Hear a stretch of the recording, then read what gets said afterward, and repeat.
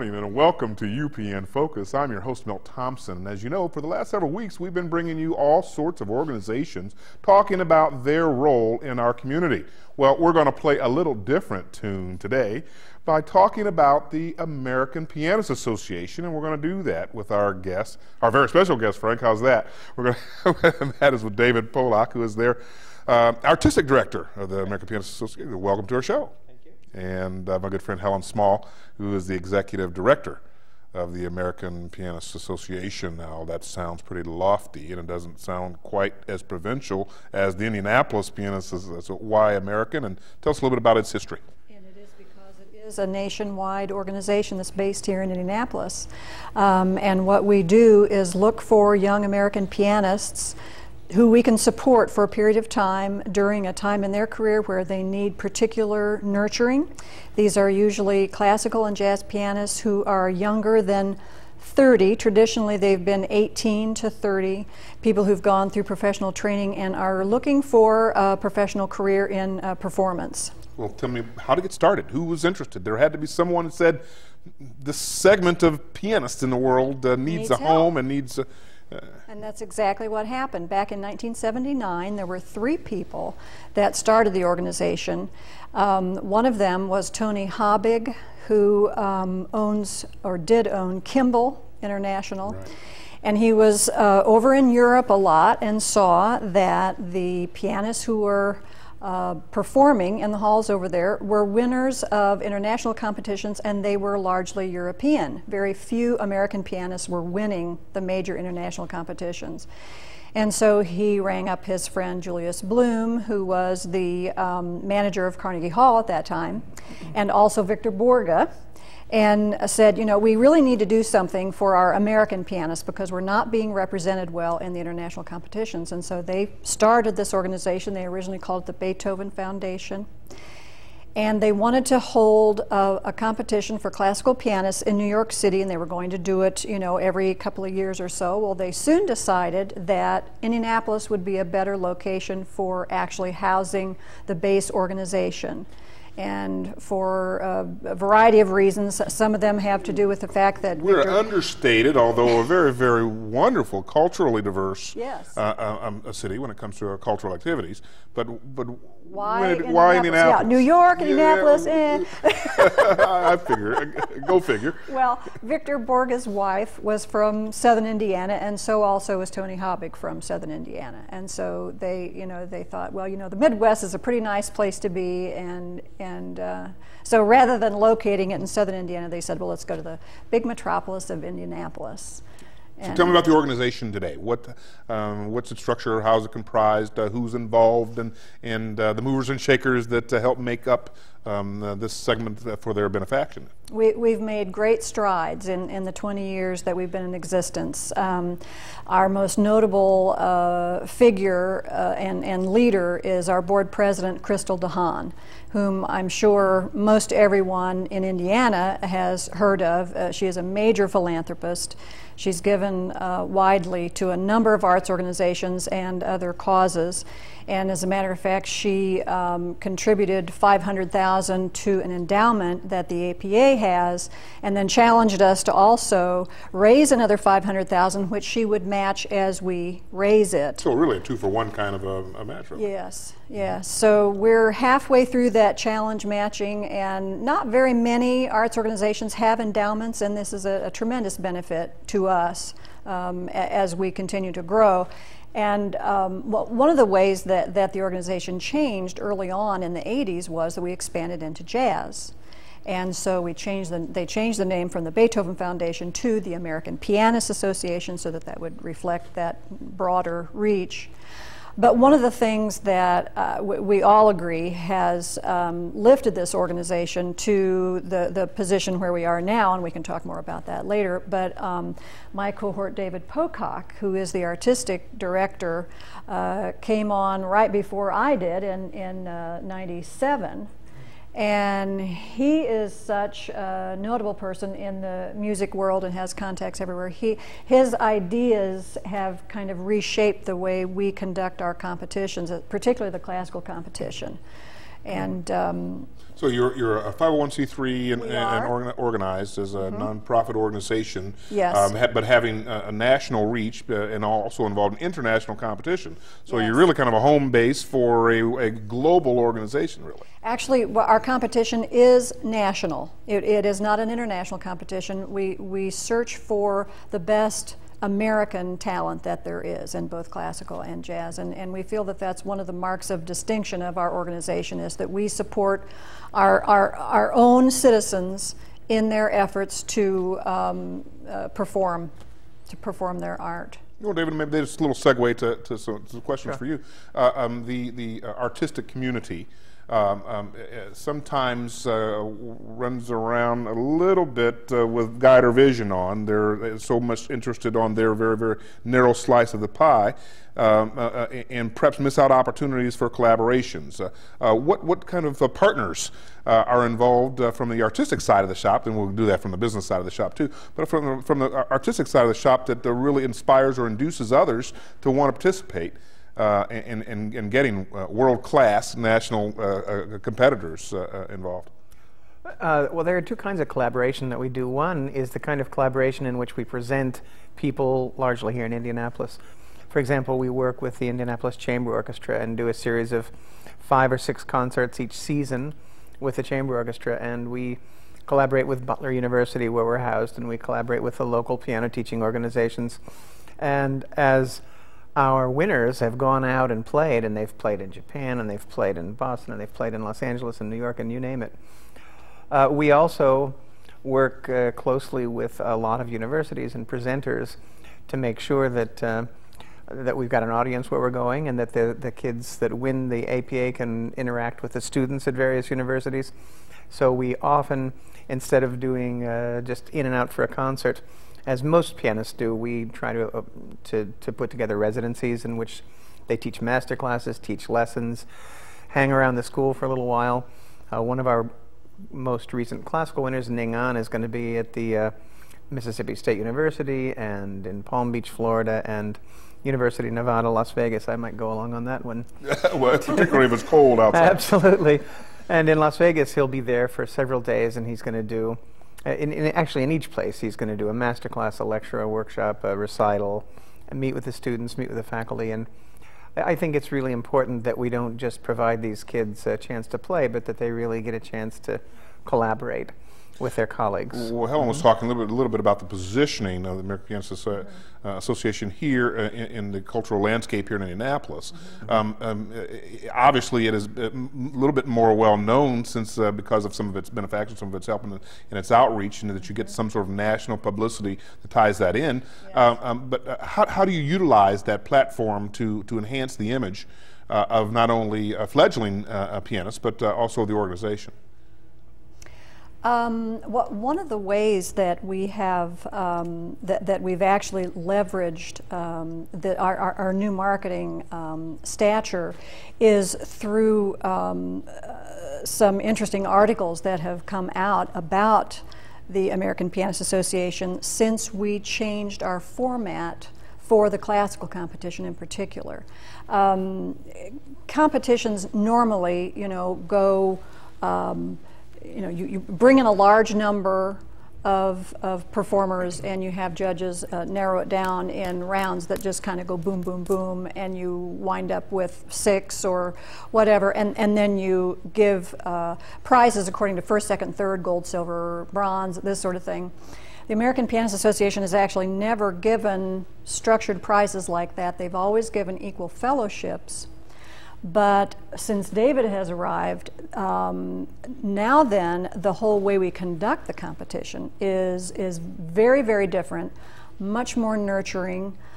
And, and, and, I want to interrupt because we've got to go take a short uh, break, okay. but I want to talk more about okay. uh, um, the specifics of the competition and how people get involved. We'll do that right after these okay. short words.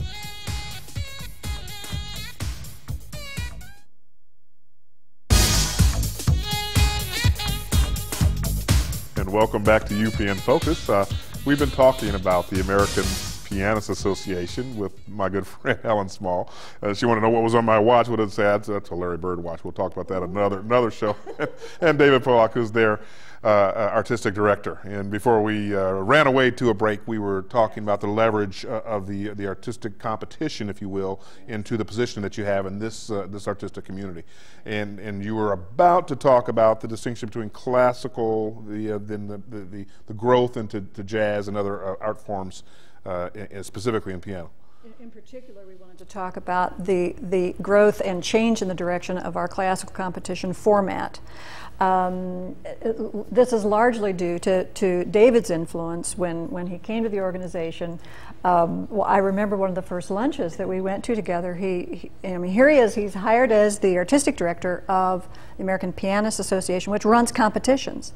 And he tells me, I hate competitions. And I'm thinking, true, true, yeah. how does that jive? well, I have, a, I have a hard time with competing in the arts. I mean, who plays a slow movement of a Mozart concerto more beautifully or who is more expressive in a Chopin nocturne? It's really comparing apples and oranges, and each artist has an individual statement to make. That being said, you want to find a mechanism that you can identify the people that really have the most to say to an audience. But I I want to do it in a humane way. I want to treat everyone that comes in here as an artist and as an honored guest in Indianapolis and not as, uh, you know, slugging it out mano a mano up there in some kind of contest. Uh, the other problem is that there are, uh, for example, in Italy, there are 600 competitions with the word international in it, just in Italy. So it's really hard to get into the marketplace and make a difference and become noticed. But we've got a brand new format uh, which uh, basically we identify the finalists before they come here through a tape round, and then we bring them in one at a time, rather than having them compete. Number one is from 10 to 10:15, number two from 10:15 to 10:30, and so on. And then the inevitable, you know, so it removes the out. feel of direct competition, at the same exactly. time um, permitting the, the, the, fullest application uh, of their talents. Uh, exactly. And, and so how, how are they judged? Well, each one comes in for about a week, um, and then they come in spaced by a month. So September, October, December, January, February. So it becomes like a series, just like a musical a series. Musical series, right? So they're kind of judged mm -hmm. over a set of criteria. Yes. That's right.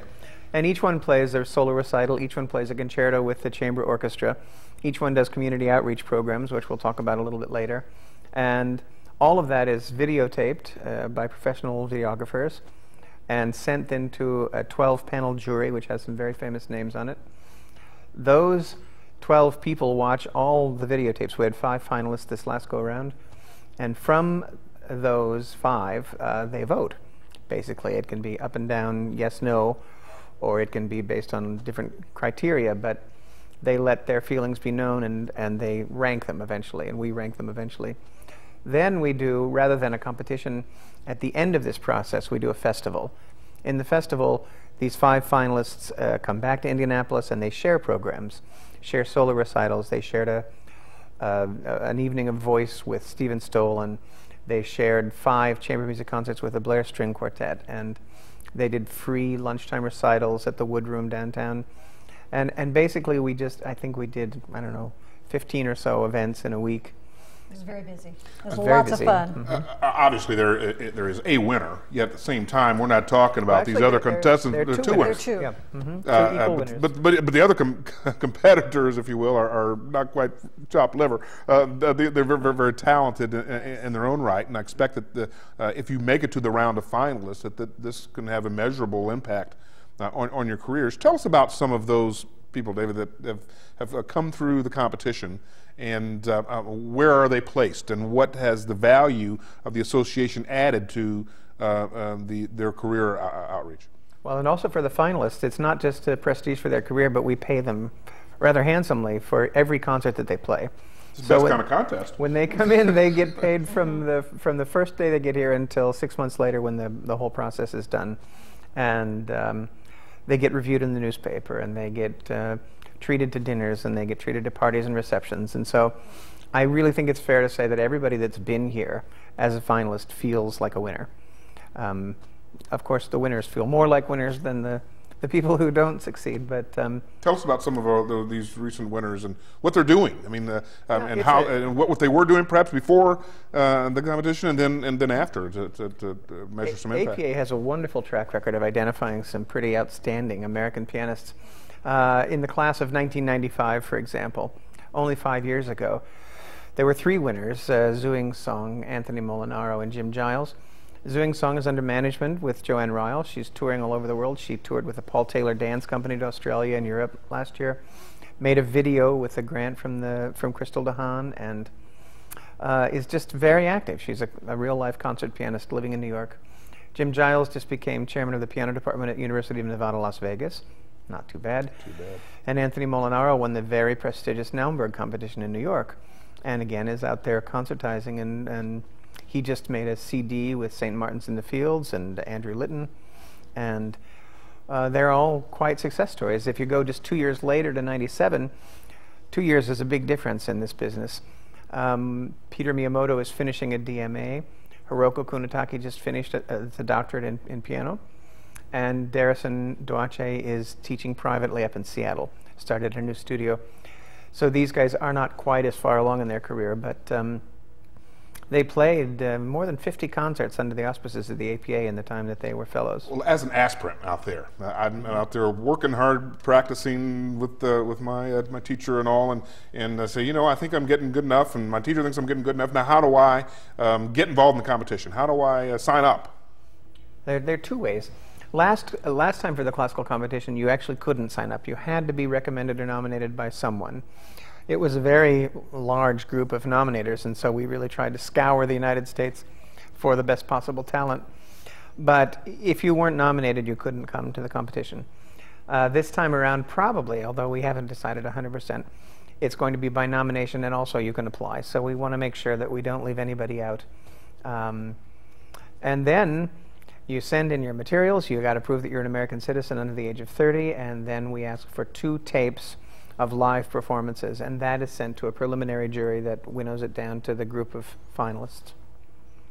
So, in other words, you have to come highly recommended in order to even to get on the invitation list to get on the preliminary.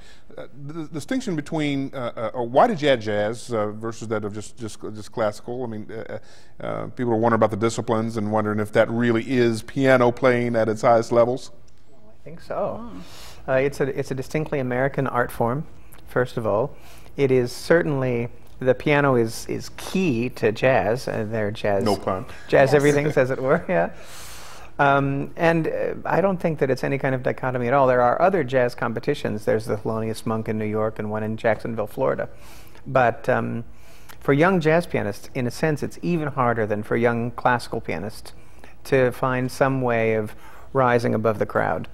And what a competition like the APA can do is you've got uh, jury members who come in who are extremely well connected. We've had Billy Taylor and Ramsey Lewis and uh, you know people people at that level listening. And then again, it's a fellowship rather than a prize. So it's ten thousand dollars. It's a CD, and it's as many concerts as we can organize. Um, so it seems important to help uh, promulgate the the jazz art form in the United States. Particularly in recognition of uh, in Indianapolis and the home base and the uh, uh association having yeah. the significant history and heritage, and then obviously with uh, you know uh, jazz festas otherwise that are around that are bringing more attention to that art form, as well as having you know jazz departments like at Indiana University and uh, David Baker's wonderful programming there. Exactly. you had mentioned earlier something about community outreach, and that's really kind of the heart of, of our discussion today. And and and right after we take a short break, I want to talk about the community outreach outreach uh, and the positioning, and then how other people might get involved uh, in your organization. And we'll do that right after these important words.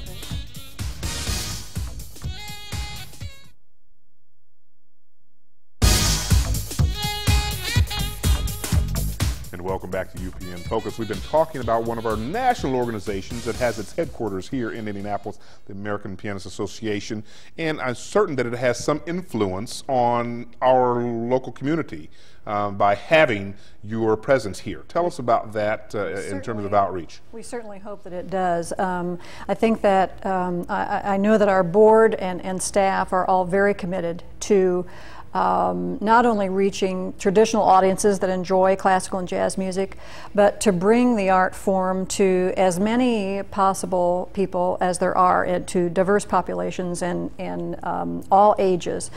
We have a program called the Concerto Curriculum that we run um, annually where our uh, classical and jazz fellows will go to um, schools, high schools, grade schools, and perform or um, have three day residencies with um, the high school conductor and the high school orchestra. This uh, just in itself raises the, the level of the performance uh, for the high school students. It's, it's just a wonderful Particularly opportunity. in a day when you know schools are saying these, those are amenities, they're not not, not core not to learning, uh, and, and I mean I, I don't uh, espouse that at all. Neither do completely I. opposite. Yeah. We also take the, the uh, fellows into community centers and churches and retirement homes, and it, it's always mixed with, you know, question and answer, um, workshops, uh, master classes. Just, we do a lot of uh, not only performing but um, educating with the program. We've developed a wonderful relationship, for example, with the Martin Luther King Center. And um, we've done programs for senior citizens there and for their ladies' club and for the little kids and for the after school program. We bring in a piano and they provide the audience, and it's just been a joy for us. And in some cases, we know that these are audience members that have not experienced classical music in this way before. So they're exposed to new art forms Yeah. and new experiences, and, and exposes also um, your role uh, in this fabric of our community uh, that is our rich uh, cultural experience. How do people get involved? We have a, a wonderful organization called the Friends of the APA, and anybody can join. It's $25 a year or $40 for two people, and there are lots of benefits uh, to joining. You get our newsletter, which is four times a year. You also get invited to free um, evenings of um, uh, educational performance socializing called Music Matters that happens from September through May each year. It's a wonderful group of people. So you can participate as a patron, you can participate as a benefactor, and you can also participate with some of the community outreach with the wonderful activities that go on at the American Pianists Association, and you'll take advantage of some of these calendar events here in our town. Here are some more events in our area for you to focus on.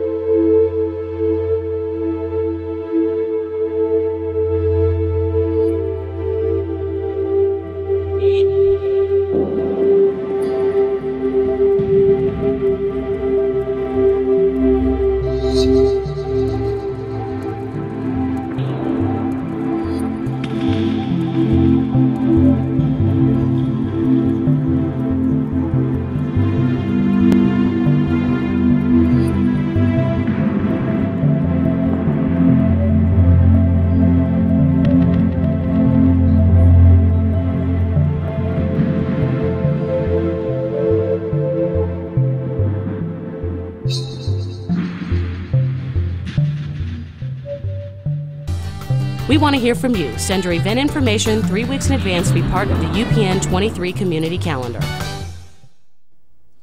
And I know you'll take advantage of these wonderful uh, calendar opportunities, just as we've taken advantage of our special guests today, David Pocock and Helen Small from the American Pianist Association. And you come right back here this time next week for another version of UPN Focus.